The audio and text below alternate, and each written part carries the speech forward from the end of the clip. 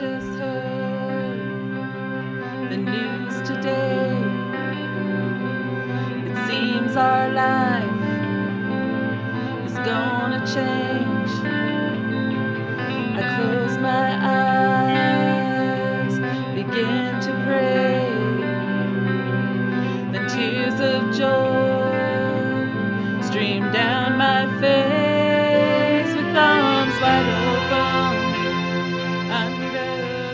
Long, long ago, first man and first woman were created, and old man spent time with them at their new place he made for them because he loved them.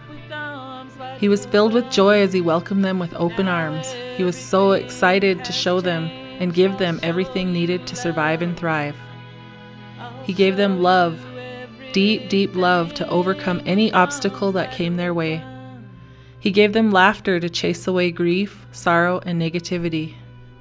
He gave them prayer, ceremony, and song to help cleanse, heal, and renew. And He gave them connections with everything in the universe so they'd never be alone. For thousands of years, they thrived and became a strong nation.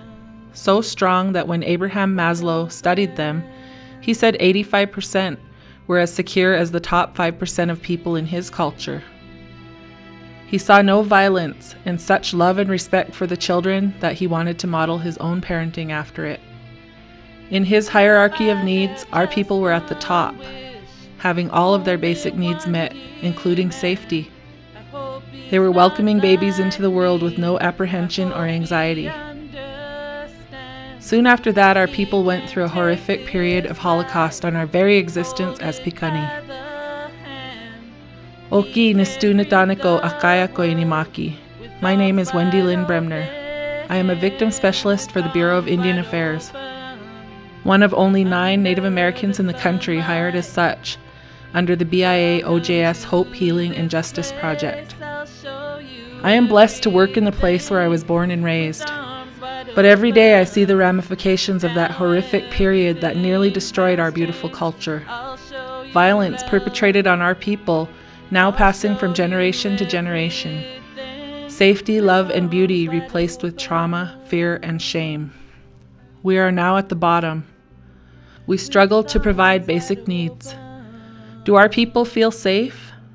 Only four out of 100 people here on the Blackfeet Reservation said they feel safe here.